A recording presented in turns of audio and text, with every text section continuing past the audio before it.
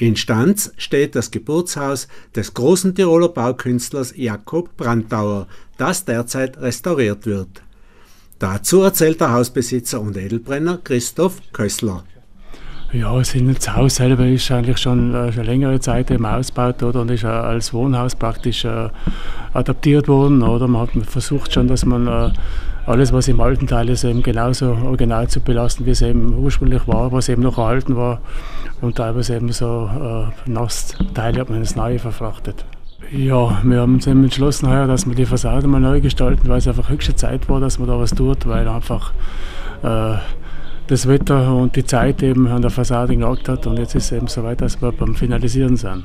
Äh, wir haben da letztes Jahr eine kleine Wohnung umgebaut und da haben wir auch Kleinigkeiten gekriegt. Und jetzt äh, bei der Fassadgestaltung haben wir jetzt eigentlich äh, mehr gekriegt für die Ortskernrevitalisierung oder kriegen wir, als wir vom Denkmalamt. Also es funktioniert ganz gut über diese Institution.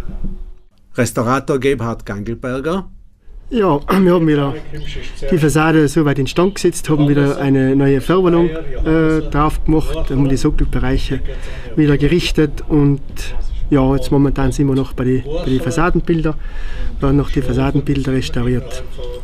Ja, wir haben jetzt einfach wieder die, äh, angestrebt, dass wir die bauzeitliche Fassung wieder präsentieren. Und äh, die Bilder, was wir jetzt auf dem Haus sehen, die wurden in den 1960er Jahren bereits freigelegt, die waren schon überstrichen.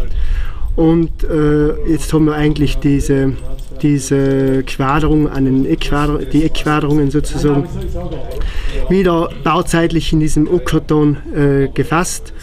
Und um die Fenster haben wir ganz eine schlichte, einfache Rahmung, die was auch äh, aus, der Bau, aus der Bauzeit stammt. Also da haben wir noch auf dem, auf dem, auf dem äh, Verputz, der was äh, bauzeitlich ist.